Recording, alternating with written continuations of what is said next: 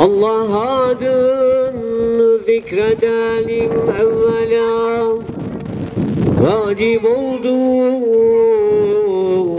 cümle işte her kula. Allah adın her kim ol evvel ana. Her işi asanide Allah ana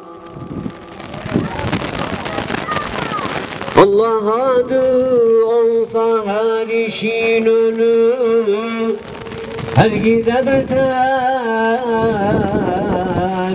olmaya sonu قالوا إنا لله وإنا إليه راجعون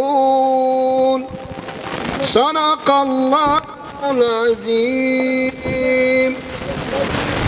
آمين الحمد لله رب العالمين والحاكمين الصلاة والسلام على رسولنا محمد وعلى آله وصحبه أجمعين ويا أرحم الراحمين ويا أحكم الحاكمين Ey yerlerin ve göklerin hükümdarı, razıkı, yaratıcısı, nimetlendiricisi Allah'ım.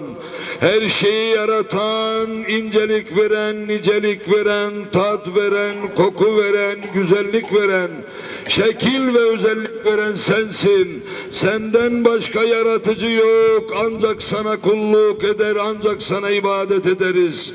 Ya Rabbi kulluk edemedik gereği gibi kapına geldik. Şaşırdık belki doğruyu söyleyemedik. Sevdir bize sevdiklerini, yerdir bize yerdirdiklerini. Sevdin Habibini alemi cihana sevindirdin. Ruhuyla, şuuruyla şuurlandır. Onun nuruyla nurlandır. Allah rızası için, merhum ve merhumelerin ruhu için, bilhassa Remzi amcamızın ruhu için El Fatiha.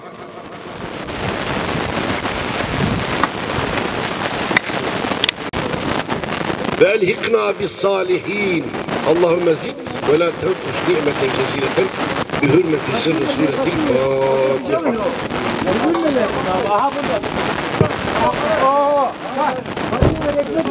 Sizleri mutlu ettiniz. Allah hepinizden razı olsun. Sağ olun, var olun. Allah hepinizin geçmişlerinize rahmet etsin.